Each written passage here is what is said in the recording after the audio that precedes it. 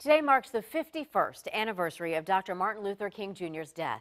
In his honor, more than 100 people walked in a unity march in Hampton this afternoon. I was there to see and now to show you how his legacy is still inspiring young people.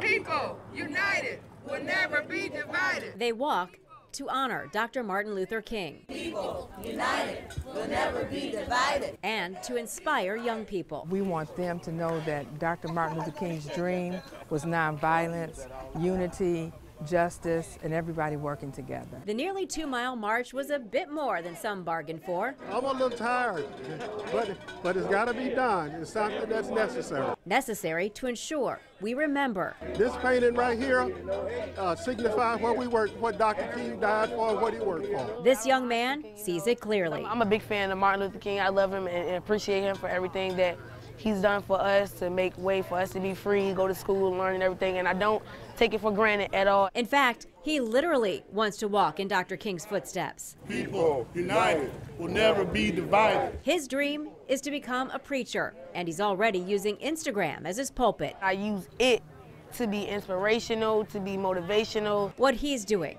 what they're all doing as they march over MLK Bridge, is an effort to build more bridges. All people are one people. It does not change. We all need to stick together, band together, and stay together. Never be divided.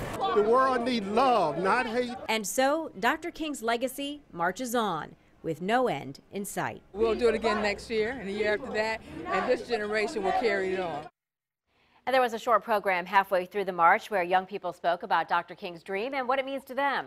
The march ended at the historic 1619 marker where the first enslaved Africans arrived.